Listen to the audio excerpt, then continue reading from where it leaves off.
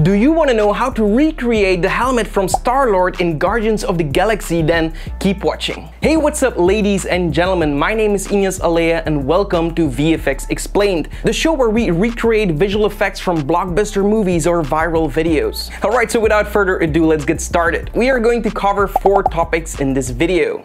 The first topic is going to be about head tracking. Then we're going to take a look on how to get that helmet. Then we're going to take a look on how to apply the effects to it and apply textures and lighting. And then last but not least is going to be the final comping of putting everything together and get our awesome result. This effect is actually something I recreated for the Epic VFX Masterclass. For the students of the Epic VFX Masterclass, I'm going to be explaining that in depth, um, but for this tutorial, I'm just going to explain my workflow and all the thoughts behind it. So if you are interested in detailed VFX learning, then I would highly suggest you to go to learnepicvfx.com. We are currently accepting new students to our masterclass, and after that the doors close, we won't accept any new students for a while. This because I want everyone everyone in the class to have an amazing experience, the right guidance from me and my team. We have a lot of fun, we learn a ton of visual effects all together, and I have seen some incredible improvements from beginners or even advanced people that joined the class and just needed to up their game. So if this sounds like something that you might be interested in, definitely go to learnepicvfx.com, sign up with your email. Once the doors are open, act quickly because we are only going to allow a certain amount of people to join the class once that limit is achieved, we won't accept any further students without any exceptions. So yeah, hopefully I can see you there. Okay, so to create a head tracking effect, uh, the first thing that we need is to capture our footage. We have to pay a little bit of attention when we're trying to record something to be tracked afterwards. So for this object tracking, we want to make sure that our object has enough detail. Luckily, I have a beard, so the hairs are kind of like a texture and they have a lot of detail in it. So it's really easy to track a beard. But if you don't don't have a beard and you have that perfect silky smooth skin, then you might want to add some dots on your skin. Maybe even for me, I could have added a few dots here and on my forehead, but you can also apply some filters using After Effects to enhance all the textures that you already have on your skin. If you're in puberty and you have pimples, great, you will be able to track your head just perfectly. so in After Effects, I turned my footage into a black and white image. I also enhanced it with unsharp masks and just to make everything come out a lot better. The pores on my skin and all the details. I just want to see as much contrast as I can because the tracking software usually looks at the contrast of the image and not the color. Once I have that, I exported my footage and I brought it into Cinema 4D. Here I used the motion tracker to track my scene and I just deleted all the points around my face. You can also just mask out your face and just track that area, but I was lazy to do the masking so I just tracked it, removed all the excess tracking points and that left me with something like this. I know this track isn't perfect, but if you will be using tracking dots, you can also do a manual track where you actually track those dots and you're going to get a lot better results. But for this effect, I think it works pretty great. So then I was thinking, how am I going to create this helmet? Because I like to create things on my own. I started modeling, but I quickly realized I'm going to spend way too much time on creating a model. So I'm going to be lazy and smart at the same time. I'm just going to download a pre-existing model of the Star-Lord helmet. And luckily I found this link. It's a free to download 3D model that you can use. It's not perfect yet, so I did some tweaks afterwards, like delete a few of the duplicate polygons and just clean up the entire mesh.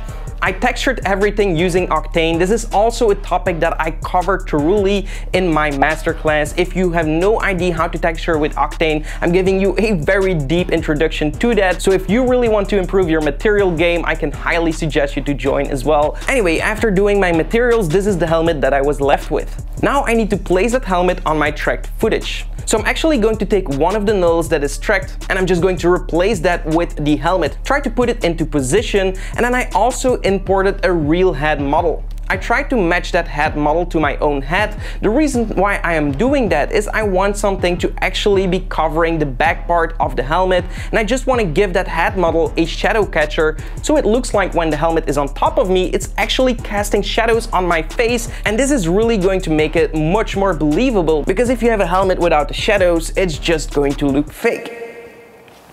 You can also keyframe a little bit of positions and rotations to make sure the helmet is perfectly tracking onto your face. You might have some errors here and there, but that's okay. Just try to get rid of it with screen shake afterwards. okay, so now for the animation, I actually used a similar technique from my Iron Man video where I had the boot uh, turning into my Iron Man suit, which is a really cool video.